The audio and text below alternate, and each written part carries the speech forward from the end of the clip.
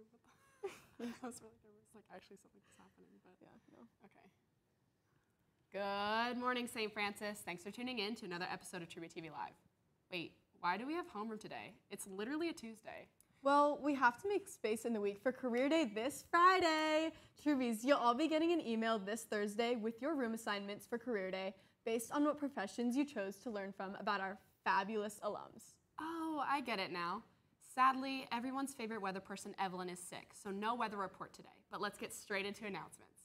Troubies, Dean Koss needs volunteers for the Sac State Active Shooter Training. It's next Monday, March 18th, during your A and B blocks. If you're interested, please email Dean Koss for more information ASAP because signups are due this Thursday. Not only will you learn how to protect yourself and others, but you get a free lunch. SB elections are all wrapped up, and tomorrow are count- class council speeches. Give the candidates your full attention during class meetings. Fill out the voting form Mrs. McGreevy will send out after. And remember, your vote counts. Mother daughter ball tickets are still on sale, Troubies. This Saturday, March 16th from 7:30 to 9:30, spend a memorable night with your mom or loved one at SF's own Garden Gala. You know what else is going on this weekend? Little Women opening night! Tickets are on sale now for this Friday, Saturday, and several showings next week. Here to tell us more about the show, Troubie TV reporter Faith Oliver with special guest and member of Little Women's cast, Chloe Laird.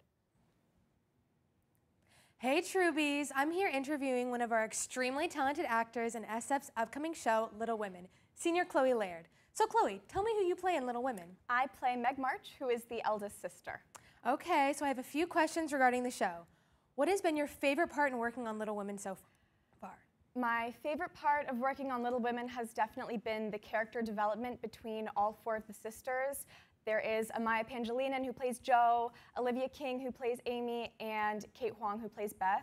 And Miss Millar has done a really great job of making sure that each girl stays true to their character, but um, we all harmonize with one another. That is so awesome.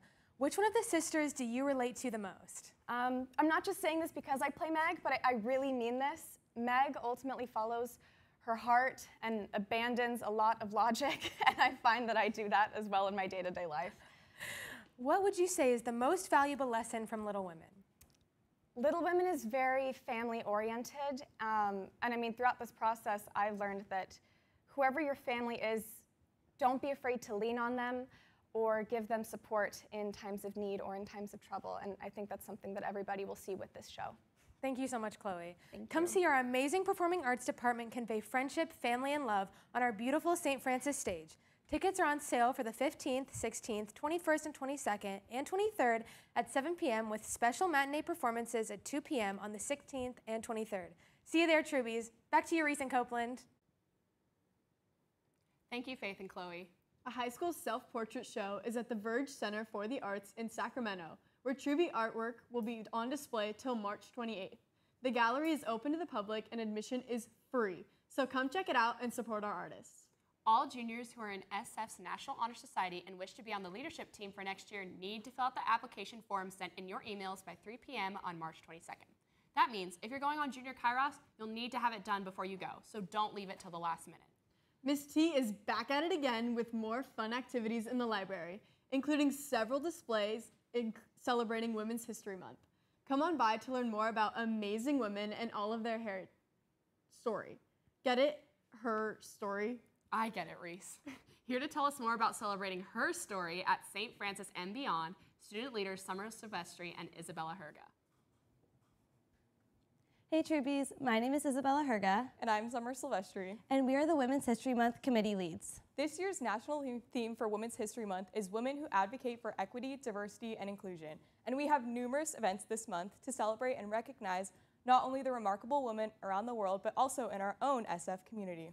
I'm sure by now you all have seen the posters hung up in your classrooms highlighting various women who have made differences not only in their field of study, but also outstanding DEI contributions. Make sure to take a glance at these posters on your way out of class and scan the QR code at the bottom to answer a few short questions about the selected women.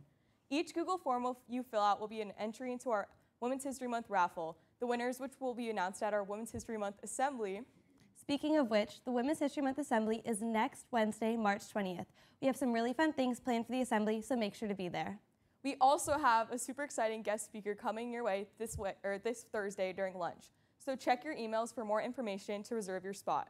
Lastly, keep an eye out on your emails for information about upcoming festivities for the rest of the month. We want to wish you all a happy Women's History Month. Back to you, Reese and Copeland. Easter break is so close. Just have to finish out this week and the next so I can get to the pool. Yup, and spring break is making me think about summer. And not just summer, but what I'll do during summer. I'm gonna have so much time just to chill out. Hey Copeland, wanna know a secret? There's a way you can make some money this summer and still have fun. For real? I mean, I was kind of planning on just sitting on my couch and watching season three of The Bear on Hulu. Yeah, you could do that, or you could be a Camp Troubie counselor. That's right, Troubies. Four lucky students get picked to lead fifth through eighth graders in a four week summer program right on campus. And arguably the best part, you get paid. Applications have been sent out in your emails and are due April 7th. I mean, who wouldn't want to make bank this summer? All right, we've gone on long enough. And now, What you've all been waiting for homeroom hits. Take it away, SBOs. Hey guys, it's your SBO's Lillian, and May. and we're here to announce the winners of Homeroom Hits. Drum roll, please. The winner is Homeroom 331, and the song was Could You Be Loved by Bob Marley. Please make sure you stay in your homeroom to claim your prize. That's all we've got for you today, Troubies. Thanks for tuning in.